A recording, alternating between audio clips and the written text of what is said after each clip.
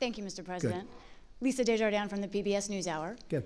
On national security and immigration, can you give us more details on the executive order you plan for next week, even its broad outlines? Yeah. Will it be focused on specific very fair countries? question. And in addition, on the DACA program for immigration, what is your plan? Do you plan to continue that program or to end it? We're going to show great heart. DACA is a very, very difficult subject for me. I will tell you. To me, it's one of the most difficult subjects I have because you have these incredible kids. In many cases, not in all cases. In some of the cases, they're having DACA and they're gang members and they're drug dealers too. But you have some absolutely incredible kids. I would say mostly. They were brought here in such a way. It's a very, it's a very, very tough subject. We are going to deal with DACA with heart. I have to deal with a lot of politicians. Don't forget, and I have to convince them that what I'm saying is is right.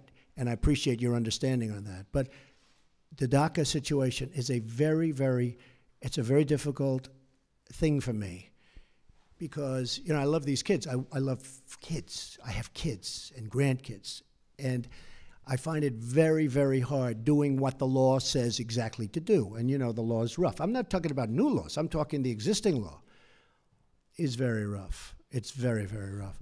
As far as the new order, uh, the new order is going to be very much tailored to the what I consider to be a very bad decision, but uh, we can tailor the order to that decision and get just about everything, in some ways more.